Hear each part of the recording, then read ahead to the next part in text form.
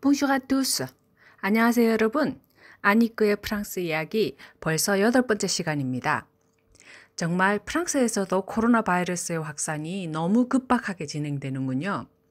하루 만에 확진자 1210명, 사망자 21명이 증가한 16일 현재 프랑스는 확진자 수 6633명, 사망자 수 148명으로 집계되었는데요. 급기야 엠마뉴엘 마콩 프랑스 대통령이 현지 시각 3월 16일 저녁 8시에 첫 번째 발표에 이어서 5일 만에 또다시 대국민 담화를 발표하기에 이르렀습니다. 이번에는 아, 프랑스가 전쟁 중이라는 표현까지 사용을 했는데요. 이날 담화의 주요 골자를 정리해보고 그에 대한 반응도 좀 알아볼까요?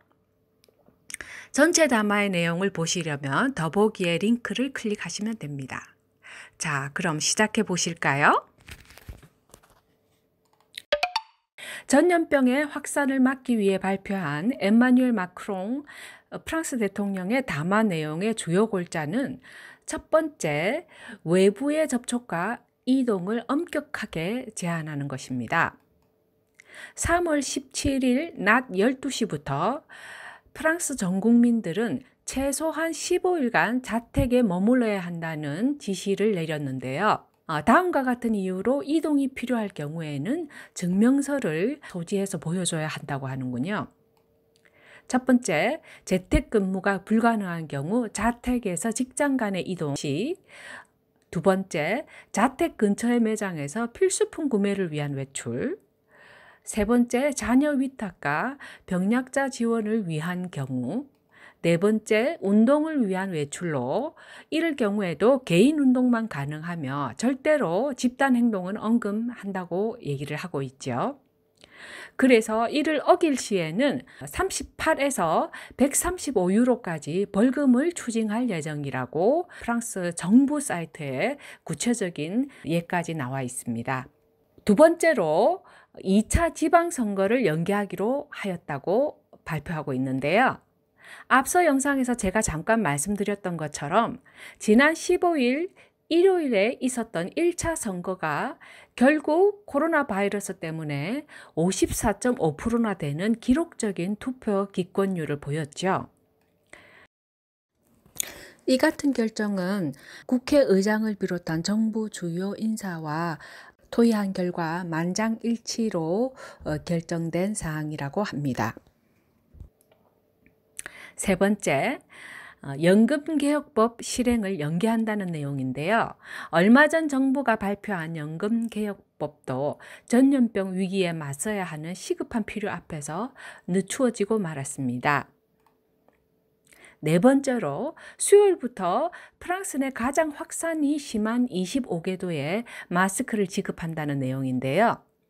의료진과 각 시도의 개인 병원 의사들에게는 화요일부터, 기타 도에는 수요일부터 지급한다고 하죠. 다섯 번째, 육군 보건 서비스 현장 병원을 알자스 지방에 설치한다는 내용인데요. 현재 프랑스에서 가장 확진자 수가 많이 발생한 두 지역은 L'Île-de-France와 Le Grand Est인데요. Le Grand Est가 알자스 지방에 위치하고 있는 지역입니다.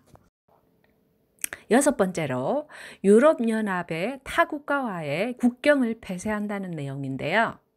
이 조치는 화요일 날 12시로부터 시작해서 30일간 지속될 것이라고 합니다. 단 현재 외국에 있어서 프랑스 국내로 돌아오려고 하는 프랑스인에 한해서는 허용할 것이라고 하는군요. EU 국가뿐 아니라 기타 지역으로의 해외여행 또한 30일간은 금지할 것이라고 합니다.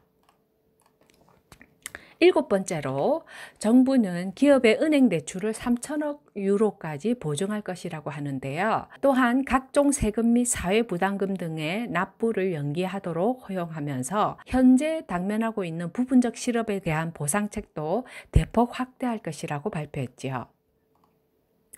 여덟 번째로 그러면서 어, 코로나 바이러스 전염병으로 인해 세계적으로 겪고 있는 이러한 경제적 난국으로 인해서 어떤 기업도 파산의 위기를 감수해서는 안 된다고 하면서 세금을 비롯한 모든 수도세, 전기세 등과 같은 사회적 고지금뿐만 아니라 임대료도 납부를 미루도록 한다고 발표했어요. 네, 이상으로 엠마뉴엘 마콩 프랑스 대통령이 발표한 2차 대국민 담화문의 내용을 정리해 주셨습니다. 한편 이 발표에 대해서 야당 측 정치권에서는 어, 정부의 이 발표가 너무 모호하다고 얘기를 하면서 전쟁이라고 할 때는 훨씬 더 분명하고 명료한 지시가 필요하다고 말하기도 했습니다. 네, 이상으로 오늘 준비한 내용을 모두 마쳤는데요. 다음 소식 전해드릴 때까지 여러분 모두 건강하시고 편안하게 지내시길 바랄게요. Merci beaucoup. Au revoir.